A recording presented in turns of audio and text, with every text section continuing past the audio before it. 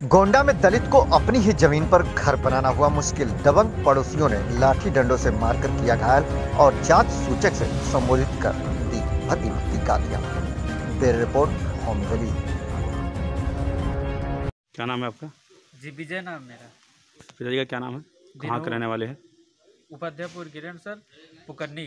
थाना कौन सा है? थाना मनिकापुर। क्या दिक्कत है आपको? सर मकान का मामला घर का मामला है सर। कैसी भूमि थी वो? वो आबादी ज़मीन थी पुरानी आबादी पैतृक भूमि थी। हाँ कब्जा किसका था? कब्जा मेरा था सर। फिर क्या दिक्कत है आपको? फिर दिक्कत है एक बगल का पड़ोसी सीताराम है। वो। मकान नहीं बनाने दे रहा है सर। मेरे को बोल रहा है मेरे दस साल पहले से नहीं भर भर रखा था मैं।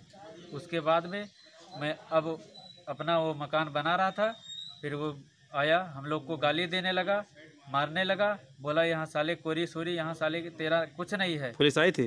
पुलिस आई थी सर। हाँ किसने बुलाया था? वही बुलाया सीताराम अच्छा बुलाया। बच्चे ने बुला पुलिस बुला लिया? जी। फिर क्या हुआ?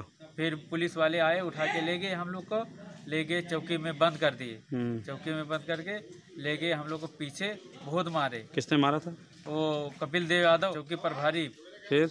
और मारने लगे मार के हम लोग मेरे को बाल पकड़ के गया वहाँ पीछे की तरफ़ ले गए। वहाँ मारे पटक पटक के मारे और उस बाल पकड़ के उसे दीवार में घिस दिया मेरा।